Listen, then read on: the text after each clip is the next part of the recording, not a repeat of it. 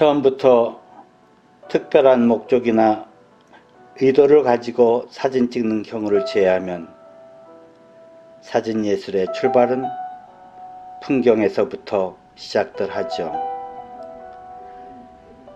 계절별로 바뀌는 인근 풍경을 찍어보고 해외로 눈을 돌리기도 합니다. 어느 시점이 되면 다른 사람과 차별화된 풍경을 찍고 싶다는 욕심이 생기죠. 자신만의 특화된 풍경 말입니다. 이때쯤 되면 우리는 그를 한 사람이 풍경 사진가로 대접을 하게 됩니다. 이번 전시는 바로 오랜 사진 찍기를 통해서 자신만의 눈으로 풍경을 바라보는 특화된 풍경전을 준비했습니다. 그중 겨울만을 주제로 한 사전을 간추려 보았습니다. 모든 계절이 나름의 특색이 있죠. 겨울은 다른 계절에서 느낄 수 없는 독특한 모습을 가지고 있습니다. 저는 그것을 물의 유의라고 생각합니다. 겨울 풍경은 물의 유의가 빚은 풍경입니다. 얼음과 눈, 상고대 모두 근본이 H2O, 즉 물입니다. 그 물이 기후 조건에 따라 다양한 얼굴로 나타납니다. 어떤 분은 눈에, 어떤 분은 얼음에, 어떤 분은 상고대에 더 많은 애정과 시선을 보냅니다. 겨울이 초대한 물이 화려한 변주가 결국 이 아름다운 사진을 만들어냈습니다. 전시는 한 분이 세 점에서 네 점씩 출품했습니다. 지금부터 출품하신 분들이 사진적 특징과 그들의 시선을 함께 즐기고 싶습니다. 우선 신항성님의 작품입니다.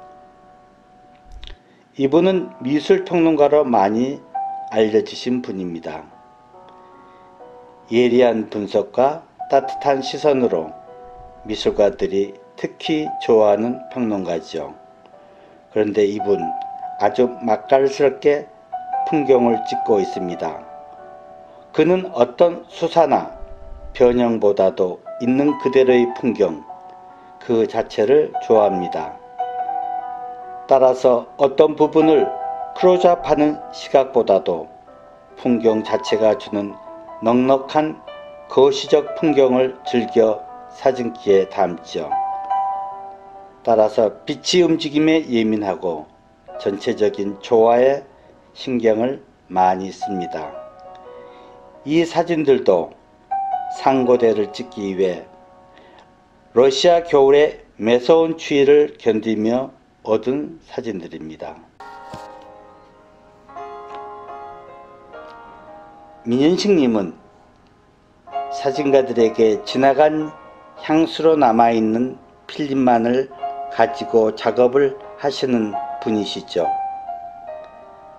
디지털 사진과 필름 사진은 비슷한 유형을 가지고 있지만 서로 다른 매체죠.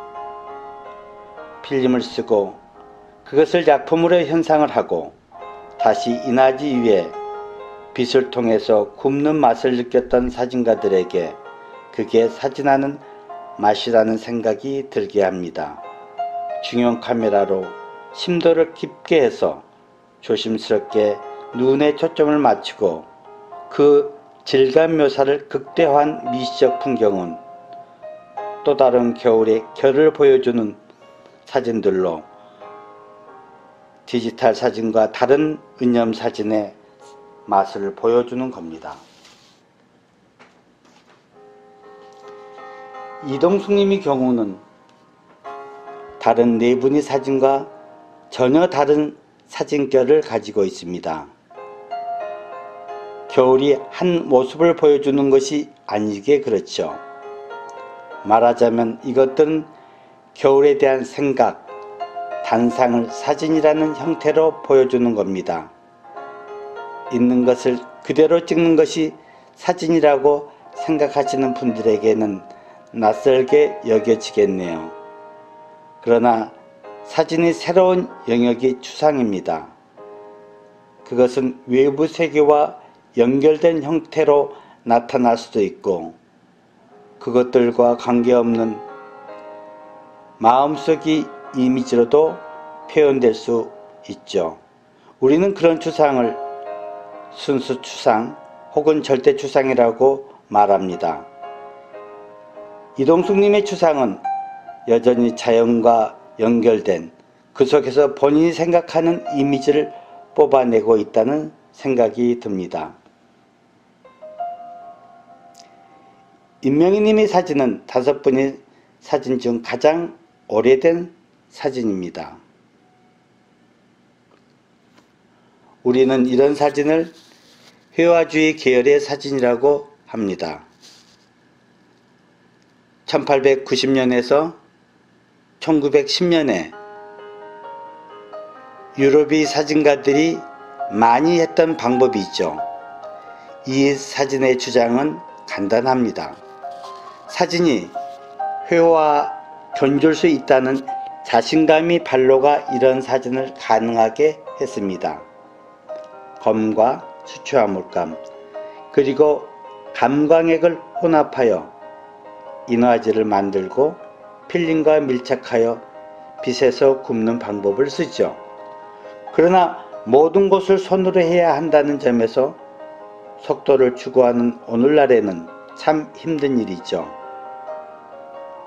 잊혀진 옛 기법을 꺼내서 자신의 표현도로 삼는 임명희님은 우리에게 소중한 사진가임이 틀림이 없습니다.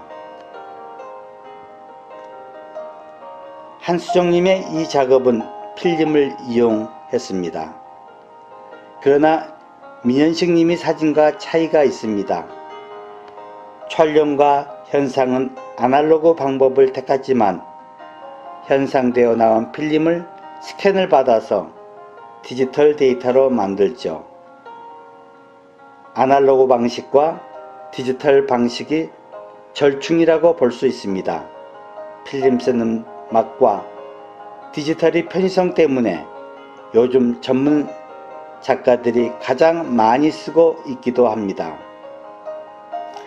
그래서 인화지에 가장 가까운 페이퍼를 사용해서 프린트를 하면 그것이 암실 프린트인지 거의 구분할 수가 없습니다.